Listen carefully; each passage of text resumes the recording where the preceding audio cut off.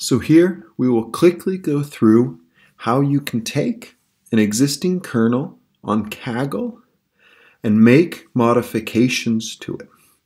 For this, we will take the Introduction to Contests QBI 2017, which can be found on the course website under the tutorial.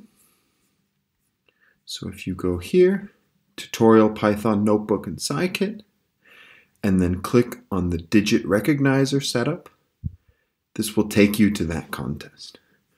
You now have this open, and if the notebook belongs to you, you'll see an option to edit notebook.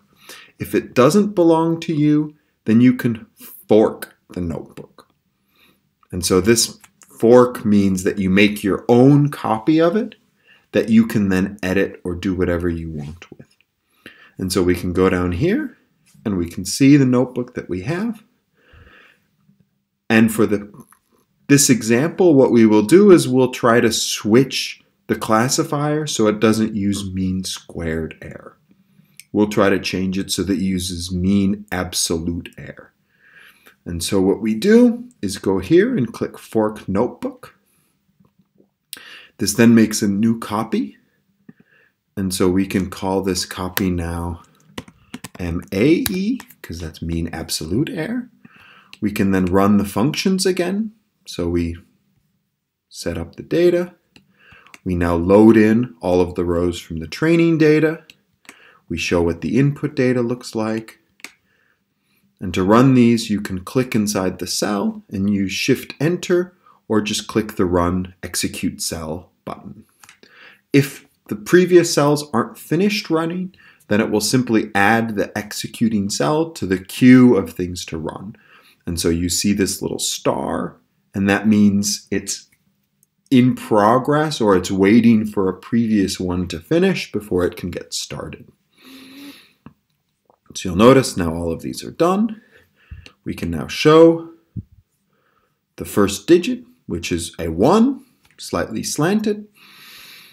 We can now then get a classifier which has examples of all of the digits. So we see here, it now has an example. This makes a figure of all of those digits. We can now see the example digits that we're using for this. We will now change the MSE to the MAE function which means that instead of using the power, we'll just use absolute value and then we can get rid of this 2. We then copy MAE here so that it calculates the MAE as part of the classify images function. We can then change this text just so that it's correct.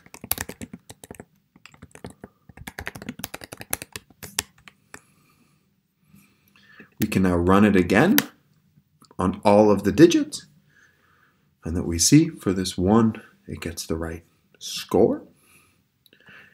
Doesn't work perfectly. We can then rerun this block many times because each time we run it, it picks a new digit.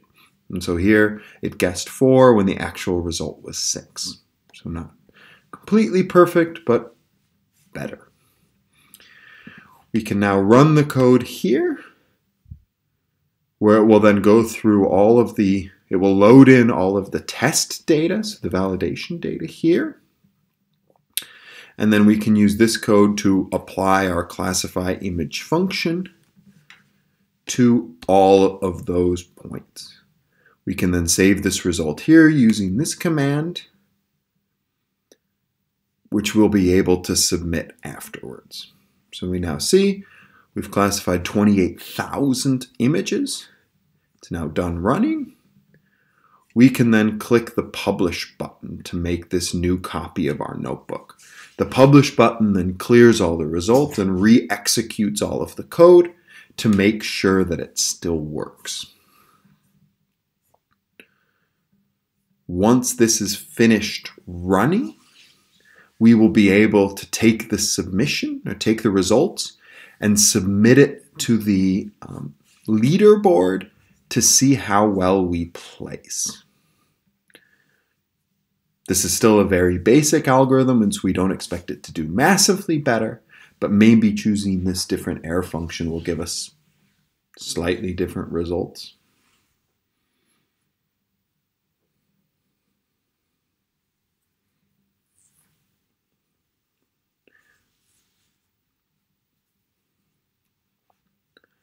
So we now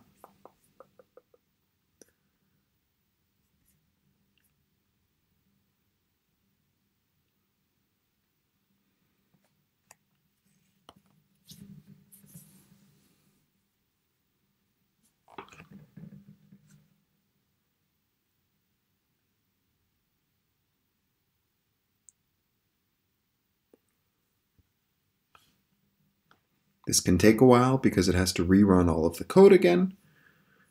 We now see that it's done. We have our new notebook. We can then go to output and we can just click the submit to competition button.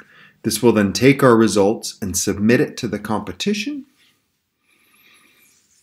And our results last time were 0.345, so about 34.5% correct.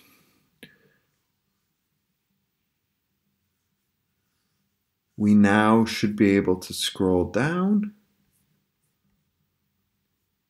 and see that we're about the same score as we were last time. Um, so we'll need to come up with a much better metric when we want to improve, but that we still get 34% correct, which is not bad. All of our kernel is automatically saved online. You can then choose to go back. If we go back here,